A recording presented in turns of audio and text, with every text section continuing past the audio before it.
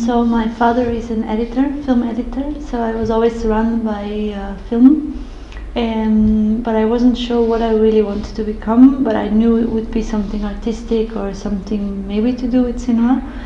Um, but when I was 18, I still wasn't clear for me, so I went to film school because my parents were like, "You can search, but you have to do something. You can't just sit the house and think about it."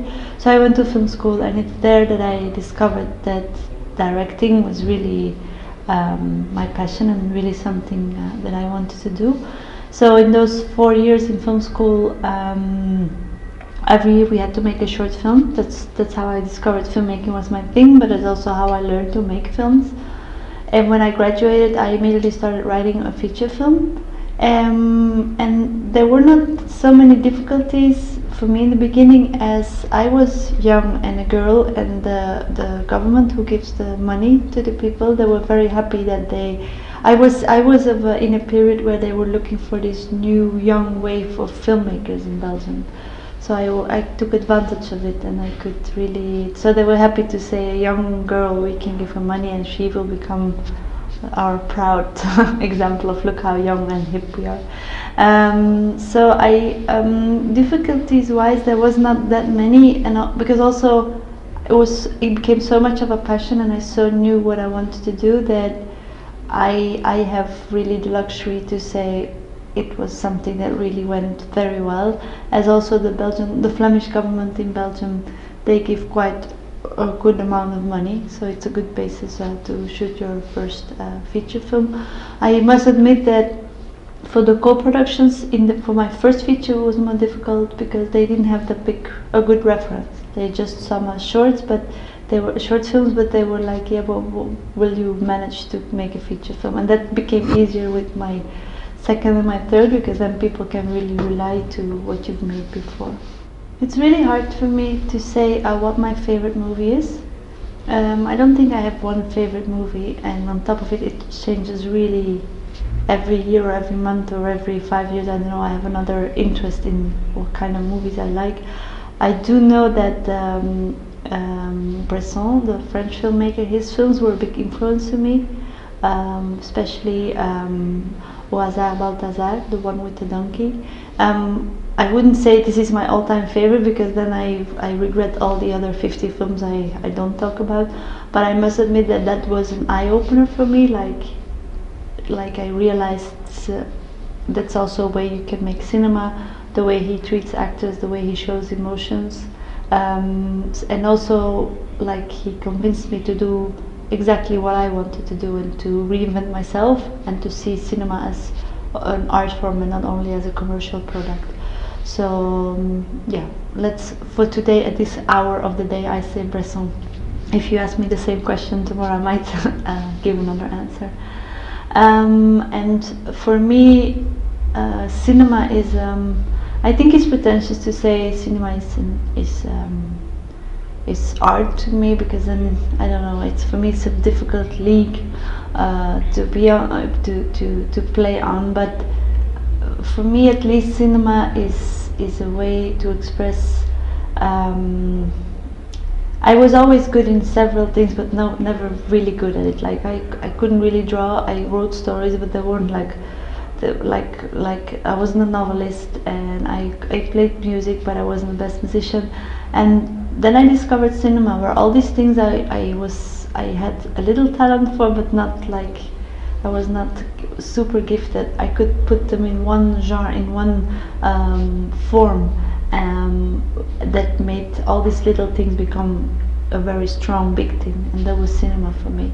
Um, and I think the most important thing is that I still see cinema as, as a place where I can uh, really be free and don't have to to how to say that? I don't have to listen to any conventions and that's most important thing for me that I will never ever adapt to anything that it will that that freedom of doing whatever I want to do with cinema and try to um, reinvent myself. If I can keep doing that then then I want to continue making films for the rest of my life.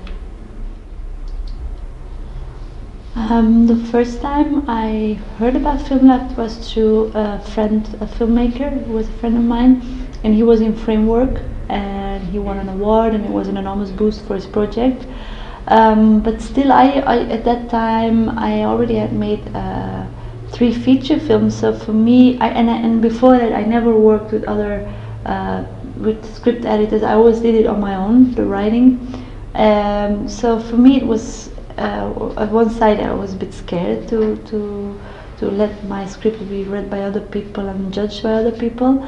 And at the other hand, I was a bit like I made th three feature films, so why should I start this process now? Why why didn't I do it then with my first feature film?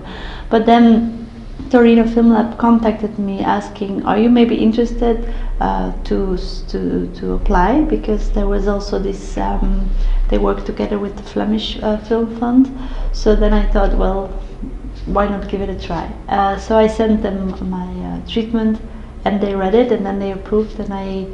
That was, of course, the reason I, I started it.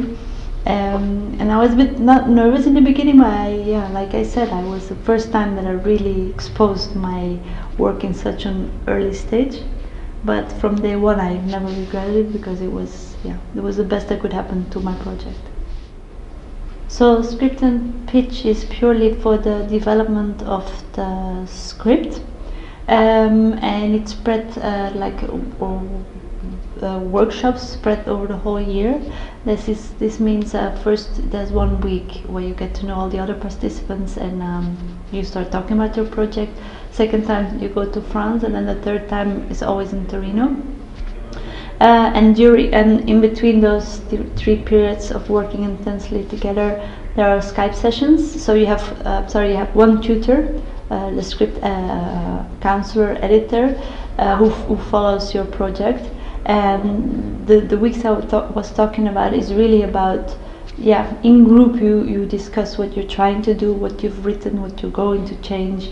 You talk about the characters about the script. You really um, analyze what you're trying to do. But for me the, the amazing thing is that um, even if you have a conventional script or if you would have a very um, uh, artistic weird thing they always or at least as my experience they always try to um, get into your world and what you try to do and from there out they try to um, use their experience and their knowledge to make it a, better script or or um, help it develop. So um, yeah it's just a whole year of intensely um, working it, the nice thing is also you have to do the work that is to say you have to do the writing.